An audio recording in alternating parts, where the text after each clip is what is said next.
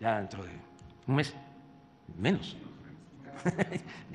ya como 20 días entrego el bastón de mando para este, la dirección del movimiento. Ya me quedo nada más pues, terminando o sea, todas las eh, acciones y obras del gobierno.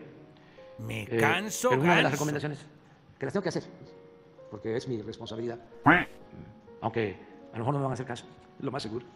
Este, pero sí voy a eh, dejar un esbozo de lo que se necesita seguir haciendo para que continúe la transformación.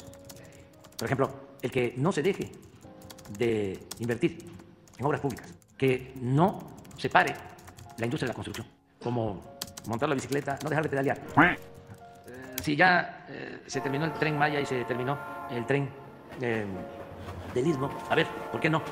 El tren desde Coatzacoalcos a Veracruz y luego, ¿por qué no el tren de Veracruz a la Ciudad de México? ¿Y por qué no el tren de la Ciudad de México a Querétaro y a San Luis y al norte, a Guadalajara, a este, Sonora, pasando por Nayarit, por Sinaloa, eh, hasta la frontera?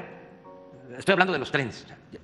Lo mismo en el caso de eh, carreteras, lo mismo en lo que tiene que ver con el sector energético, ya ir pensando en la construcción de una nueva refinería, desde luego eh, seguir invirtiendo en energías eh, renovables, eh, a ver si es posible empezar a rehabilitar toda la industria petroquímica y muchas otras cosas, el plan Sonora, y aquí los planes para estos estados, este, todos, todos, todos, todos, eh, eh, tienen muchísimas posibilidades para seguir creciendo con, con bienestar, progreso, con justicia.